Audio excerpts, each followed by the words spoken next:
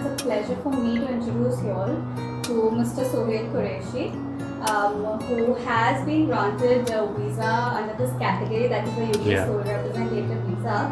So, hello Mr. Qureshi. Hi. Um, would you like, like to tell our viewers a little bit about yourself and your company?